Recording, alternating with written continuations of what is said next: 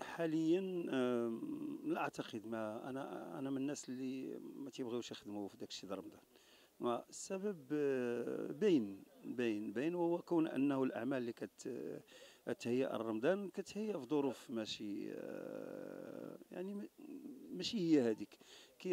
كتمتاز بالسرعة ويعني حتى لا على مستوى الكتابة لا على مستوى التقنية لا على مستوى هذا. فهاد الأشياء هذه فإلا كان رمضان حنا خص يكون عندنا رمضان ديما. يعني واش هذا المواطن ماشي من حقه على أنه يشوف أعمال جيدة طيلة السنة إلا في واحد الشهر واحد هو اللي نجيو نديروا ليه واحد عملية إنزال ديال مجموعة ديال البرامج والمسلسلات تيليفيلم وهذا وهذا وما تبقى من الوقت هذا. فأنا كنظن على أنه خص يكون عندنا رمضان ديما.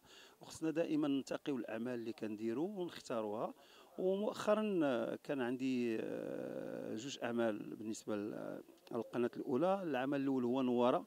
وراه في المراحل الأخيرة ديالو دابا في البث ربما وصلوا للحلقة 17 ولا 18 والعمل الثاني هو العمل اللي آه، أنا فيه بإيقاع آخر إيقاع متميز آه، من إخراج آه، المايسترو السي محمد نصرات وواحد الكوكبة هامة من الفنانين اللي عندهم باع طويل في المجال ديال التصوير منهم السي محمد خويم ونفتو هند السعديدي واحد المجموعة مجموعة دريس الروخ مجموعة سميح إلى غاب عليا. الأسماء ديال الأصدقاء ديالي اللي معايا في هذا العمل هذا. فهو عمل كنظن على أنه غادي يكون عنده الوقع ديالو عند المشاهد. علاش؟ لأنني عشت فيه واحد اشتغلت فيه وشفت فيه واحد الاحترافيه واحد النوع لا على مستوى النص ولا على مستوى الإخراج ولا كذلك حتى ال casting اللي موجود في هذا المسلسل. هما المخرجين ما عندهم حتى شي آه لا المخرجين ما عندهم حتى شي دخل في هذا إلا الجانب ال casting. أنا أنا اللي نبغي نقول الإخوان المخرجين هو أنهم يحاولوا ما أمكن على أنه في الأعمال اللي surtout الأعمال اللي كدوز في التلفزيون هذا يديروا كاستينغ. وكاستينغ يكون ترعى فيه الشروط ديال الشخصيات اللي مراد يعني آه، آه، تصويرها ولا تشخيصها هذا الجانب الأول. الجانب الثاني هو شركة الإنتاج اللي كتشرف على الأعمال التلفزيونية.